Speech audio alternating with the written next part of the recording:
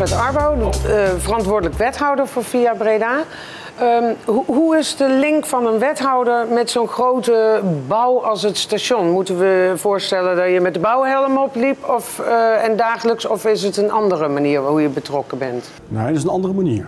Uh, bestuurlijke verantwoordelijkheid betekent dat je uiteindelijk natuurlijk alle problemen en knelpunten die ambtelijk niet opgelost kunnen worden, dat je daar bestuurlijk of een knoop over moet doorhakken, besluit over moet nemen.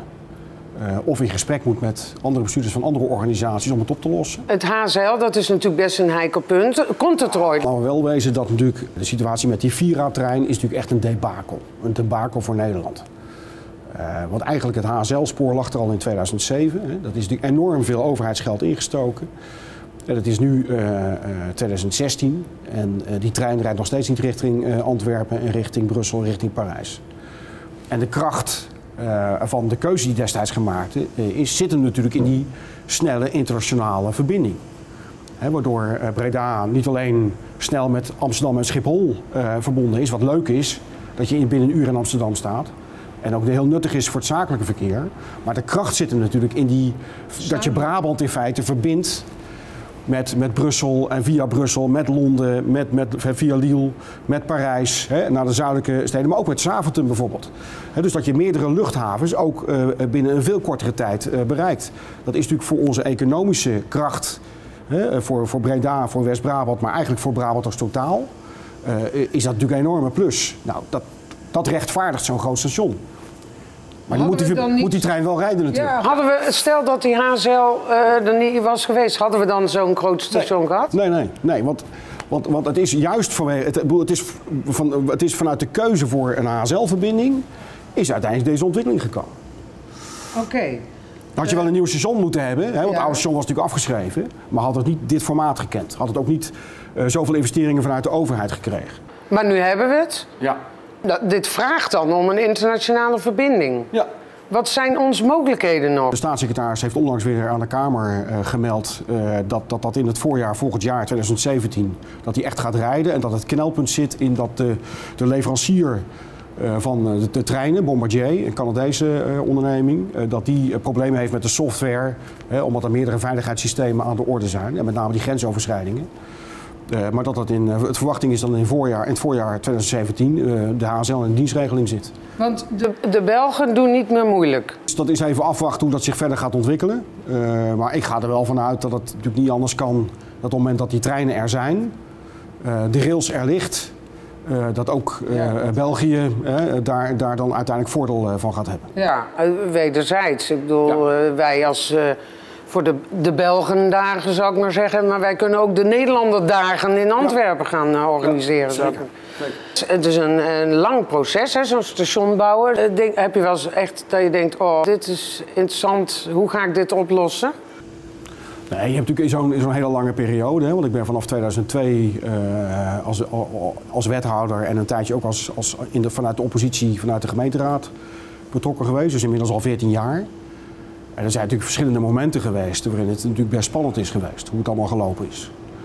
Je kan je voorstellen dat toen de crisis begon in 2008, dat, dat, dat er uh, en, en, en um, uh, bijvoorbeeld een NS-partij als NS Poort uh, een moment landelijk zegt vanwege de crisis, wij stoppen met het ontwikkelen van die gebieden rondom stations. Wij zijn alleen nog maar van de stations en toen heette het opeens NS Stations. Uh, dat het een enorme impact heeft op, uh, op de business case, over hoe je met elkaar omgaat, hoe je uiteindelijk dat dan, dat dan financieel gaat oplossen uh, met, met alle partijen die daar dan voor aan de lat staan. Maar ook ehm, in de crisistijd was natuurlijk ook in Den Haag het spannend. Moest enorm bezuinigd worden.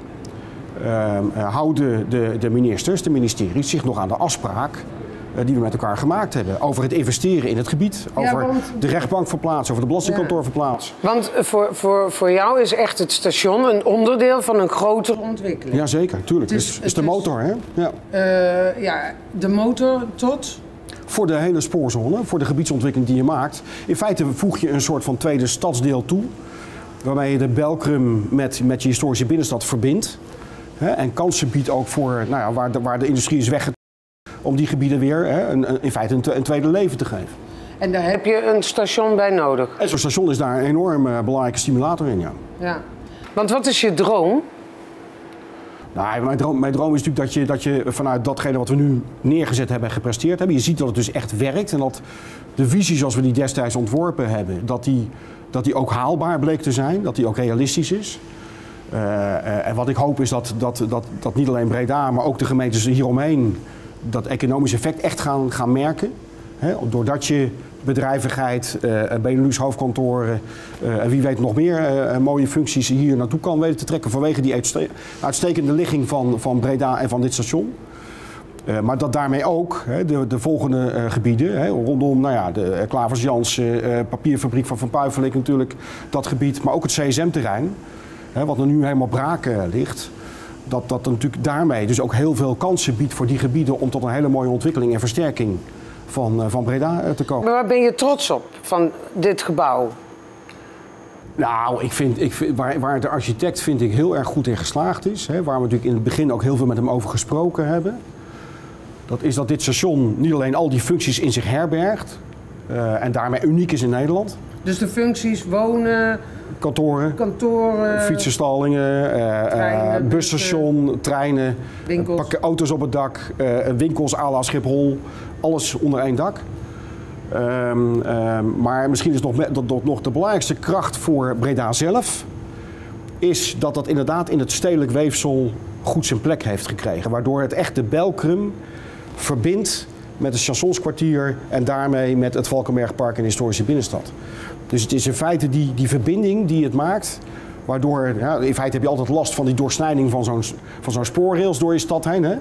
En dit station heeft die, in feite die brug geslagen. En ik vind dat, uh, qua, qua stedelijke ontwikkeling, vind ik dat een heel krachtig uh, concept. Hè? Dat is ook de reden waarom we zo'n hele brede onderdoorgang hebben die die twee wijken ook met elkaar verbindt. Dat is ook de reden waarom we eh, niet zoals in Rotterdam, waarin die poortjes alles blokkeren, maar dat we de poortjes bij de opgangen van de, van de perrons hebben. He, dus die poortjes, daar kan je, die zijn er niet. Er is geen barrière om van de ene wijk naar de andere wijk te gaan.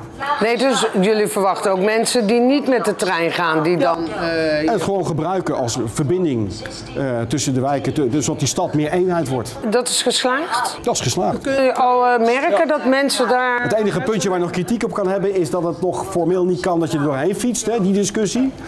Maar dat doet toch iedereen? Dat hebben we proberen op te lossen. Nou, dat is voor een deel is dat ook geslaagd. Want als je eenmaal de trap af bent met, je, door het, met de fietsgoot, dan is die fietsplek uh, is netjes afgescheiden met een muur. Zodat je niet fietsers en wandelaars door elkaar uh, krijgt uh, op, bij die onderdoorgang. Ik moet heel eerlijk dus zeggen dat ik ook lekker... Ja. Ja. Het, ik vind het ook wel grappig dat je al die hoofdjes zo er langs ziet, ja. ziet gaan. Nou, wat is nou de hoofdingang? Nou, het zijn twee ingangen. Het station is altijd ontworpen geweest met twee ingangen. En dat doet ook recht aan, aan, aan, aan de Belkrum, wat vroeger natuurlijk de achterkant was. Uh, dat je zegt van nee, het is nu één stad geworden. Je verbindt hem met het gebouw. Hè, dat zit ook weer in het ontwerp. We hebben twee ingangen, wel andersoortig qua karakter, ook qua verblijf. Het ene is wat meer zakelijk, hè, omdat daar ook alle verkeer langs komt. Uh, uh, het, dat is de welkomkant bedoel je? Is, is iets, ja, is iets, is iets zakelijk. Er zitten de winkels, uh, daar, daar, daar, daar, daar stoppen, van, van die kant gaan de bussen in feite in. Daar, daar heb je naast het taxistandpunt, moet daar, is dat daar de autoverbinding met de, waar je afgezet wordt. De, de ingang voor de parkeergarage, of de parkeerdek moet ik zeggen. Um, uh, maar die zuidkant, daar kan je natuurlijk ook afgezet worden met de auto. Daar heb je ook taxistandplaatsen. En dan kan je ook met de fiets naar binnen, is ook een fietsenstalling. Uh, maar, maar die is maar tot 9 uur open. Nu nog dan, hè, als het gebruik uh, is het nodig Dus ik dacht, ja. ik dacht, de studenten die moeten toch feesten en partijen en ja, doen. En dan moet je om 9 uur al binnen zijn. Dat gaan we zelf zien. maar, maar, maar de kracht aan de zuidkant, aan, dus aan de kant van, van de binnenstad, is natuurlijk weer dat die hele mooie verbinding met de Willemstraat. Ja. Hè, waar, waar het echt een, een, een ja, rode loper of zoals je wilt, naar het Valkenbergpark en naar je eigen historische binnenstad is. Ik proef aan alles trots. Zeker, ja. ja nee, maar dat concept is dus geslaagd. En dat, daar, daar hebben we natuurlijk best wel heel lang over nagedacht. Uh, samen met die architect. En die architect heeft dat natuurlijk allemaal verzonnen. Maar er zijn natuurlijk heel veel discussiepunten geweest. Uh, maar ik, de filosofie die er achter zit, is dat toch heel mooi om te zien dat dat dan geslaagd is. Uh, de opening. Ehm, zin in een feestje? Ja, het is natuurlijk een heel belangrijk moment. Uh, het is een belangrijk moment omdat, omdat je uh, met al die partijen waarin je heel intensief hebt samengewerkt, uh, elkaar af en toe ook wel eens diep in de ogen hebt moeten kijken van jongens, hoe gaan we dit nou oplossen, dit knelpunt. Ook echt hebben elkaar hebben moeten aanspreken op, op verantwoordelijkheid. financiële problemen moeten, moeten oplossen. Met elkaar kan zeggen, we hebben het toch mooi de klus geklaard. Hè? Bouwcombinatie heeft vrij werk afgeleverd. Architect heeft iets ontworpen wat er gewoon echt een parel is voor de stad. En als je dat met elkaar, met zo'n mooi feest voor de hele stad, waarin iedereen welkom is en iedereen van alles organiseert, dan echt kan vieren, dat is natuurlijk een geweldig mooi moment. Na zo'n lange tijd. Hè? nou ja, voor Bertwin zelfs nog langer dan voor mij. Maar zeg maar vanaf 2000 heeft, is die stad hiermee bezig geweest. Nou, dan is dat ook wel een feestje waard. En dan? Dan is het nog niet klaar. Dan verder met Via Breda? Nou ja, eerst die trein, hè? Die HSL-trein die gaat natuurlijk rijden. En daar zullen we echt alles aan doen om iedereen achter de broek aan te zitten. Dat het ook inderdaad voorjaar 2017 is dat die HSL-verbinding er komt. Want dan pas heeft het zijn werking. En we zijn natuurlijk inmiddels al nou ja, met allerlei andere plannen uh, uh, bezig. Hè? Want, want de Dura Vermeer is aan het bouwen met de woningen hierachter, zoals je weet. De, rechtbank in de Belkrum, hè? De, langs de stationslaan. Ehm, op de hoek met de Belkrumweg wordt natuurlijk uh, rechtbank, openbaar ministerie, kinderbescherming wordt nu gebouwd. Zoals ik er straks al zei, met Five Tracks, het gebied daartussen, zijn we met de partijen al bezig om die planontwikkeling verder te trekken. Die zijn op zoek naar, natuurlijk naar partijen die daar ook gewoon willen gaan zitten, die daar ook ehm, hun, hun plek gaan kiezen. We zijn met, met AM zijn we bezig bij Driehoefijzers Noord om het plan verder door te trekken. En we zijn ook al vooruit aan het kijken naar de verdere ontwikkeling van de spoorzone. Eerst aan deze kant van de markt, maar ook al met de eigenaar van het CSM-terrein naar de verdere toekomst aan het nadenken over wat zouden dan daarna wellicht in dat gebied te kunnen. Wat natuurlijk ook een hele belangrijke plek is voor Breda. Dus voorlopig is het werk nog niet af. Never dull moments, zo te horen. Gefeliciteerd en um, nou, genieten, genieten van. En dan weer door naar de volgende stap in Via Breda. Gaan we doen, dankjewel. En wat is je eerste indruk van het station? Heel mooi. Netjes. Ja, ja? netjes. netjes. Ja, prachtig. Een, een, klassiek station zou ik willen zeggen, met moderne lijnen. Het is echt heel mooi geworden. Het is echt wel gezelliger. Gewoon één rechte lijn naar, uh, naar, de, naar het park. Het is wel het oude station in ieder geval. Ja? Een beetje saai.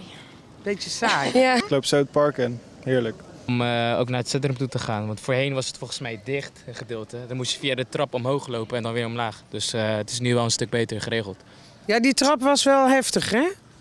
Ja, viel al mee. Maar voor sommige mensen ja. zag ik wel uh, op en neer rennen. Ik zag ze wel zweten, ja. Eerst moest ik altijd over die loopbrug. Ja. Maar dat was drie keer niks. En weet je nog het oude station? Ja, nou, eigenlijk niet meer. Nee, dat vergeet je dan toch wel heel snel. Maar het was wel natuurlijk een stuk kleiner.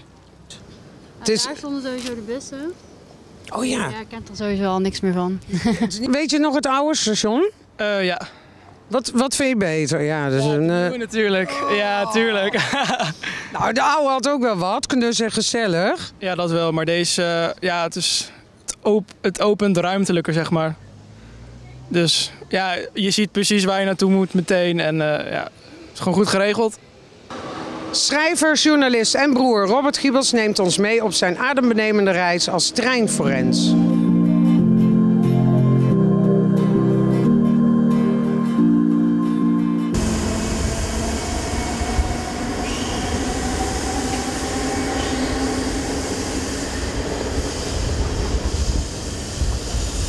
Half miljoen mensen reist elke dag met de trein naar het werk. En ik ben een van die 500.000. De NS zegt dat het er een miljoen zijn. Maar dat komt omdat ze de heenreis als een forens rekenen en de terugreis. Maar zo werkt het natuurlijk niet. Treinforensen is een serieuze bezigheid. Er is een Zwitserse hersenprofessor die heeft het onderzocht. En die heeft geconcludeerd dat de stress die je ervaart als je met de trein forenst in de spits groter is dan straaljagerpiloten ervaren in een gevechtssituatie.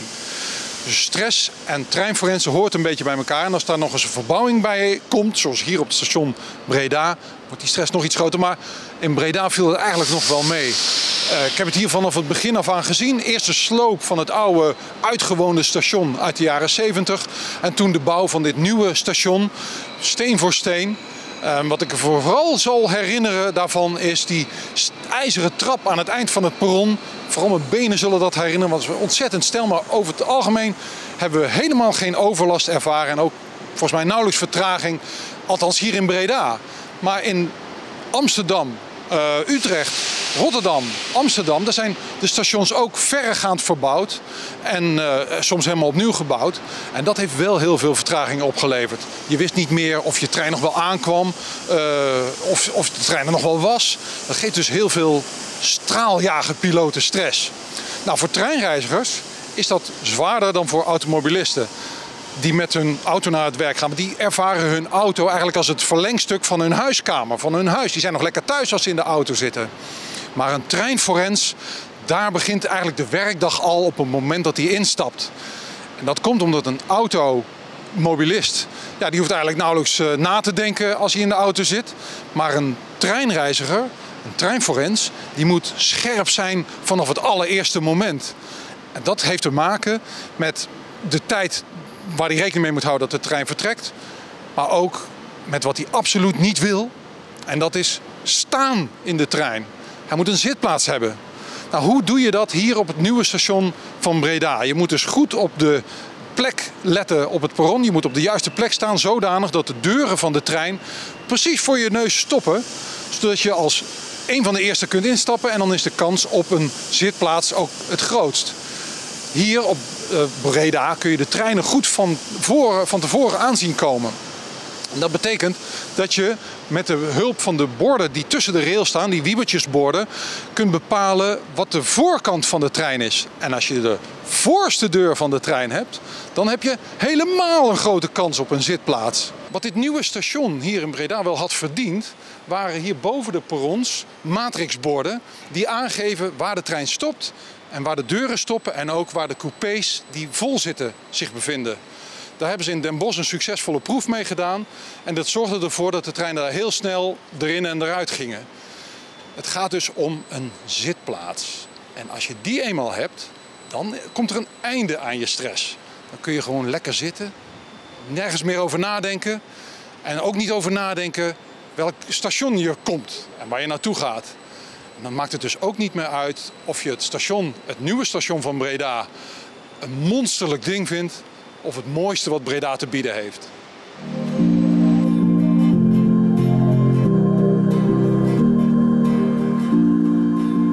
Ik werk voor de gemeente Breda en ik ben programmamanager voor de spoorzoneontwikkeling. En dat doen we in Breda via Breda. En dat betekent zoveel als dat ik uh, met de wethouders die eraan werken en alle externe partijen probeer tot samenwerking te komen waardoor dingen gebouwd kunnen worden, zoals dit uh, station hier. Oké, en hoe, um, zo'n station, dat is een enorm gebouw. Dat is, staat er vast niet binnen een jaar.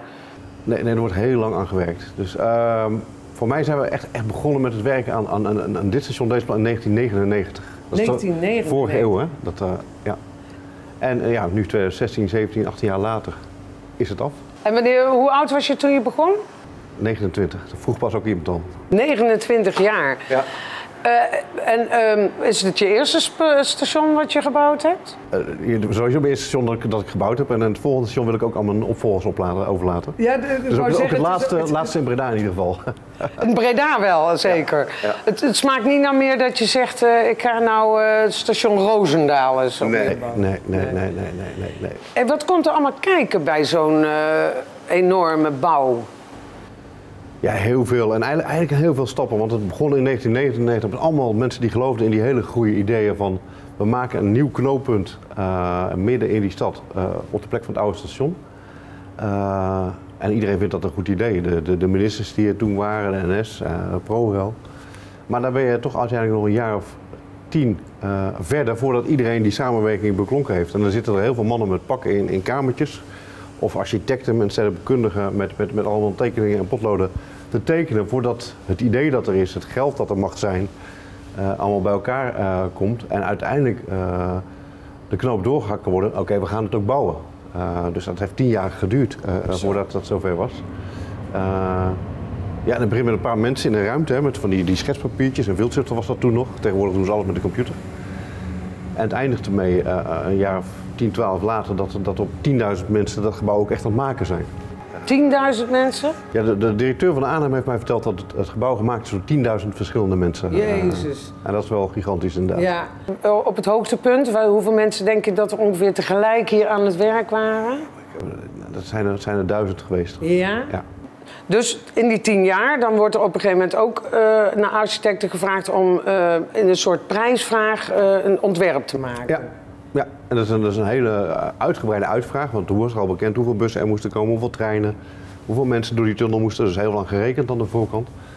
En het hele pakket van eisen is, is weggelegd bij, bij die architecten. En die konden allemaal een ontwerp indienen in de eerste ronde en in de tweede ronde een kleiner aantal nog een keer. En daar is uiteindelijk architect Koen van Velzen met kwadraat uitgekozen om het ontwerp uit te mogen voeren. Kijken jullie terug op een geslaagde, eh, geslaagde bouw wat dat betreft? Uh, ja, en wat ik vooral heel erg geslaagd vind, is, is, is uh, hoe de, de, communicatie met de omgeving verlopen is. En hoe eigenlijk hoe tolerant de stad is geweest naar wat er hier is gebeurd. Want er is gewoon vier jaar hier gebouwd. Er staat een gigantische loopbrug, die is ook bijna vier jaar gebruikt uh, geweest door mensen die naar de binnenstad moesten. 12 meter hoog, 72 treden. Um, dat je... weet ik, want ik heb hem vaak genomen. Nou, en veel met mij, denk ik. Ja, dus je hebt veel trainingskilometers gemaakt. Uh, maar dat je ondanks dat, dat, dat er toch al die overlast is geweest, dat er eigenlijk heel veel tolerantie en begrip is geweest vanuit de stad voor wat hier gebeurde. En uh, uh, iedereen nam die brug. en wel op een gegeven moment een heel mooi moment. Dat was op 5 september 2014. Toen ging opeens de centrumkant van het station dicht. En dan moest iedereen naar de noordkant. En dat was echt een boodschap van ja, ingang om de hoek vanaf maandag voor 40.000 mensen. En dat verliep, uh, verliep gewoon uh, soepel. Uh, van de een op de andere dag was dat de voorkant van het station geworden voor twee jaar. oh, voor twee jaar, want dat ben ik wel benieuwd. Wat is nu de. Heeft het station een voorkant en welke is het? We hebben er twee. Eentje richting Tilburg-Eindhoven en eentje richting Rotterdam oh, ja, vier. en Amsterdam. We hebben vier uitgangen natuurlijk. En, en, en we hebben Breda-Zuid en Breda-Noord hebben allebei een, een hoofdingang. Uh, dat zeggen jullie wel, want uh, er was toen sprake van dat de Belkrum kant de hoofdingang zou worden. Nee, nee ze zijn gelijkwaardig. Uh, kijk, de, de, zuidkant is natuurlijk de entree naar de historische binnenstad. Dat zie, die je nu kan bereiken via die prachtige Willemstraat. Hè. Je loopt zo die binnenstad in. Maar de ambitie van de stad is ook hier aan de noordkant een heel nieuw stadsdeel te ontwikkelen, wat toch een beetje de, de nieuwe stad van Breda kan zijn. Waardoor het ook voor heel veel mensen dit uh, de hoofdingang zal zijn aan de noordkant. Uh, en daar hebben ze dus twee jaar aan kunnen wennen. Maar ik denk dat als er steeds ontwikkelingen aan die, die noordzijde zijn, dat het steeds drukker zal worden met mensen die daar lopen. De nieuwe rechtbank komt er ook over uh, een jaar of twee. Dus, want ik zat inderdaad, als de Belkrumkant de voorkant is, dan is de nummering van de perrons of de sporen niet goed. Nee, dat klopt het niet meer. Nee. Nee. nee, nee dus, ja, ja, ja. Maar dat verandert in Nederland nooit. Ik geloof dat perrons nooit van naam veranderen en Nee? sporen. Nee, dat ligt landelijk vast en Daar valt niet aan te valt tornen. niet aan te tornen. Dus we spreken gewoon af. We hebben twee uitgangen voor de reizigers, Ja. hoofduitgangen, en twee uitgangen voor de treinen. En ook nog twee voor de bus. En twee voor de bus. Ja. Ja, want wat is ook zo bijzonder aan dit station is toch dat veel verkeersstroom hier samenkomen. Het idee waar het station zich mee onderscheidt van veel andere stations is dat helemaal vanaf het begin, vanaf het moment dat die mannen daar zaten te tekenen, uh, er gekozen is om alles onder één dak te willen doen. Dus eigenlijk gezegd, we willen eigenlijk dat de busreiziger evenveel comfort heeft als de treinreiziger, als uh, de fietser. Uh, en dat idee van alles onder één dak is helemaal uitgewerkt hier. Dus waar je heel veel stations hebt met een busstation dat naast het station ligt, zit het hier gewoon erin. De fietser zit er ook gewoon in, uh, met hetzelfde uh, natuursteen. Dus, en, die missie om alles onder één dak te brengen, uh, met dezelfde kwaliteit, die is wel uniek aan dit station. Omdat het niet alleen die reizigersfuncties zijn, maar ook nog eens een keer kantoren, winkels en woningen die in datzelfde gebouw zitten. Waarom denk je dat het zo leeft, het station? Is het te grote? Of... Nou, de, de, omvang heeft ermee te maken. En het station is altijd wel een aansprekend ding. Hè. Het is het middelpunt van een stationskwartier. En er wordt hier in de jaren 5, 6, 600 miljoen euro geïnvesteerd. Waar gebeurt dat nog? Hè? Ja. In buitenruimte. Dat is, dus het is ook wel bijzonder wat hier gebeurt. Uh, en je zal allemaal tegenover wonen. Uh, dan wil je donders goed weten wat er gebeurt. Wat zit er nog meer in het station wat je niet direct ziet, maar wat wel heel bijzonder is om te weten? Ja, er zijn de baksteentjes. Ik weet niet of iedereen het verhaal al kent van de baksteentjes. Nee. Heel veel. En Hoeveel zijn er eigenlijk? 2,2 miljoen bakstenen zijn er. 2,2 miljoen baksteentjes. En, en de architectuur, architect heeft natuurlijk lang geworsteld hoe, hoe maak ik een gebouw van baksteen dat zo groot is. En uiteindelijk heeft hij het gevonden in, uh, in Italië, geeft hij altijd aan. Waarbij je van die oude gebouwen hebt, waarbij je ziet dat een oud raam is dichtgemetseld en een stukje met andere stenen is gemaakt. En hij dacht, ja, waar moet ik ermee? Uiteindelijk heeft hij, heeft hij alle bouwtekeningen die er ooit geweest zijn, alle veranderingen op elkaar gelegd. Van het station? Van het station. En elk, uh, elke wijziging die in de tekening is doorgevoerd, zie je nu in de kleuren van de bakstenen terug. Oké, dus er zitten hier de oude stations in. Want hoeveel stations? Nee, de oude ontwerpen van dit station. Van dit station? Ah, oké. Dus alle oude bouwtekeningen zijn over elkaar gelegd. En, eh, je ziet het daar, dat waar misschien ooit een raam getekend was, dat groter was, Ja? eh, is het nu kleiner geworden. En uh, met oude raam zie je in de metselstenen terug. Oh, oké. En er zijn eh, acht soorten baksteen gebruikt. En elke wijziging zie je dus in die bakstenen terug. Oké, en dat waren zijn eigen ontwerpen of ook van die collega? Allemaal zijn eigen. En, en dat, dat zijn wat wij als opdrachtgevers willen wijzigen, om redenen eh, die er waren. Maar dat is op zich een fascinerend verhaal. Maar dat is ook wel een, eh, iets, een teken naar jullie. Jullie hebben veel laten wijzigen. Ja, soms moet dat ook. Hè? Want, eh, je ziet daar dat er hele grote ramen misschien Ja. hadden gezeten. Maar ja, er zitten hier wel treinen. Die mo- mogen misschien wel niet zo groot zijn als de treinen langs rijden. Dus heel veel berekeningen hebben er ook aan de grond gelegen. Ja, natuurlijk, dit soort wijzigingen in de bouw heb je altijd. Maar dat geeft dus ook aan dat jullie echt heel erg samen met die architect hebben gewerkt. Ja. Ja, en de architect met ons. En, eh, ehm, een van de bijzondere dingen in dit, dit project vind ik wel dat, dat ehm, de architect tot de laatste dag op kwaliteit is blijven letten. Dus alle kleine dingetjes moesten kloppen. En dat zie je in- terug in het gebouw. Het is gewoon op een manier gedetailleerd en, en afgewerkt die bijna uniek is voor stations. Hè. Eh, het zijn meestal toch van die, die, die, die robuuste infrastructuurgebouwen, maar dit is heel subtiel. Mooier dan bij mij thuis soms, eh, zou ik denken. Maar is dat dan, zit dat in het materiaal of ook in... eh, zi- zitten er foefjes in die wij niet zien?